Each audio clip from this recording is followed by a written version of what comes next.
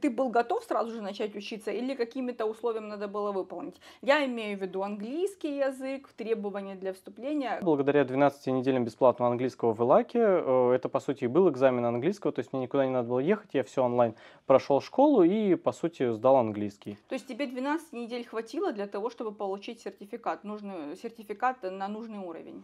Э, да, у меня английский был, ну, на достаточно хорошем уровне, но так как я там уже давно не практиковался, наверное, года два-три я вообще не занимался английским, поэтому, mm-hmm. э, дай бог, был upper intermediate уровень, и, в принципе, я сдал экзамен, поступил сразу в Айлаке на самый высший уровень, и, в принципе, 12 недель я сидел на этом уровне, просто штудировал не знаю, книжки. Ну, хоть не зря просидел. Нет, это был очень ценный опыт. Я завел там друзей, с которыми уже встретился в Канаде. Это Здорово. друзья с других стран, да.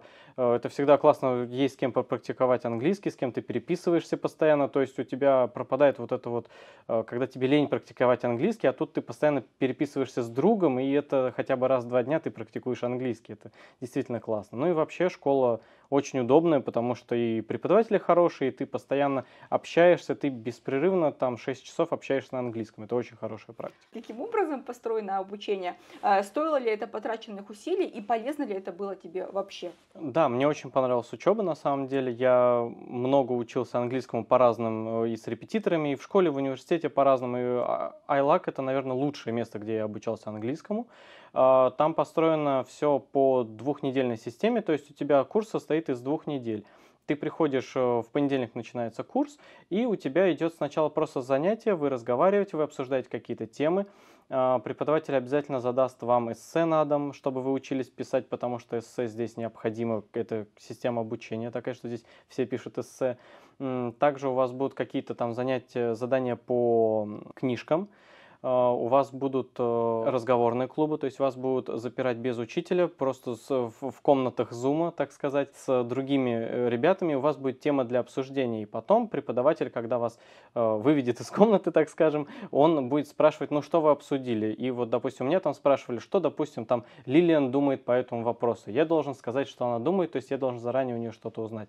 Это на самом деле очень хорошая практика, и потом мы сдаем экзамен непосредственно, это по сути часть IELTS экзамена, просто она разбита. То есть в один день мы сдаем э, э, speaking часть, э, в один день мы сдаем письмо, это отдельное, и отдельно мы сдаем, по сути, чтение. На это все выделяется время, ты это сдаешь онлайн, там, в принципе, это все очень удобно, классно сделано, и результат ты получаешь через неделю. И, в принципе, 12 недель, э, ну, мне кажется, что это немножечко слишком было, но, опять же, у меня возникли некоторые проблемы со сдачей этого английского, потому что некоторые вопросы в части чтения я просто, ну, неправильно понял как-то вопрос, неправильно ответил и не набрал нужное количество баллов. Вот. По всем остальным были хорошие баллы, а здесь я как-то вот э, попал в просак. Поэтому сдается каждые две недели экзамен, и я сдал с третьей попытки, и потом уже просто сидел и сдавал экзамен чисто для своего удовольствия. Когда ты оплаешься в ИЛАК, э, тебе надо обязательно сдать тест, это Оксфордский тест, он прямо на сайте сдается, и отправляется туда результаты. Там, в принципе, сдаются все части, то есть там э, грамматика, чтение, письмо, там все сдается. Там смотрят на твой средний уровень и понимают, куда тебя определить, в какую группу. У разных университетов разные требования, это, по сути, э, Passway программа, и вот, допустим, для Джорджина нужна 3.2.